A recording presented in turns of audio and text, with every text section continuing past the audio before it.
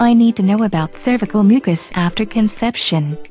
If you conceived, you're going to be dealing with a little bundle of joy leaking all over the place in a few months. Why worry about it now? I want to know if I conceived. If you were already monitoring your cervical mucus regarding your fertility, you'd know it turned clear, watery and thin when you were ovulating. That was to make it easier for sperm to get in. After you've ovulated, it goes back to being white, thick and gooey. I know it does that after the ovulation window. What does it do if I actually conceive? The cervical mucus goes back to being white, thick, gooey. And after conception, it tends to be thicker than before. That can happen if you have an STD or yeast infection too. True, but a yeast infection causes a fishy odor, while an STD can cause changes in the mucus color to yellow or orange because blood is mixed in. But if you think you have an STD, you need to see a doctor.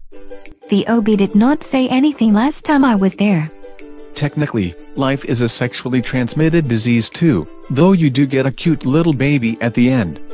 That's what I'd like to see.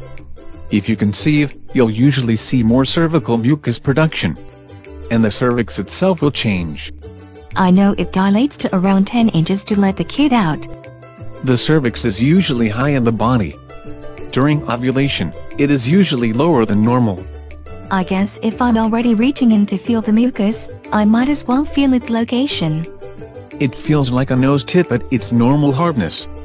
When you are ovulating, it becomes softer, before becoming harder again. What does it do if I conceived? Then the cervix remains somewhat soft but rises a little higher than it was when you ovulated but not as high as when you were pregnant. And I'd see all the changes that come with pregnancy. The primary one of which should be a pregnancy test, since that's way more accurate than trying to read your body's signals. After a couple of months, the growing breasts and belly would be a sure sign. Perhaps, but reading cervical mucus is one of those easy to understand signals of fertility, which is why women use it to find out when they are ovulating. Why do not more women monitor it to see if they are pregnant? Because not having a period is a sure bet that they are pregnant.